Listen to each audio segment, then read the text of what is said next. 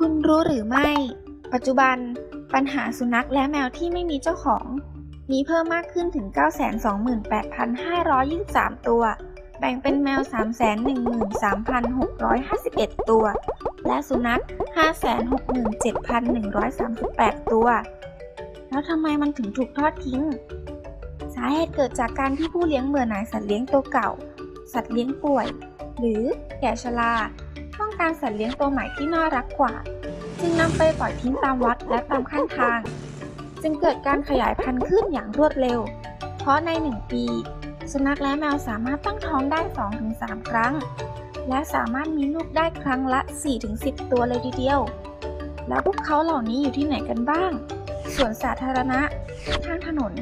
อาคารบ้านเรือน และวัด การแก้ไขปัญหาสุนัขและแมวจรจัดมีวิธีไหนบ้าง การจดทะเบียนสุนัขและแมว การทำหมัน การดูแลเอาใจใส่สัตว์เลี้ยงของตัวเอง และการฝังไมโครชิป ประโยชน์ของการรับเลี้ยงสุนัขและแมวจรจัด ได้เพื่อนใหม่ผู้ซื่อสัตย์ ได้ฝึกความรับผิดชอบ ช่วยลดปัญหาสุนัขและแมวจรจัด สามารถบำบัดความทุกข์ได้ ได้บุญ และที่สำคัญไม่ต้องเสียเงินซื้อสัตว์เลี้ยงอีกด้วย ช่องทางการติดต่อมูลนิธิเพื่อสุนัขในซอย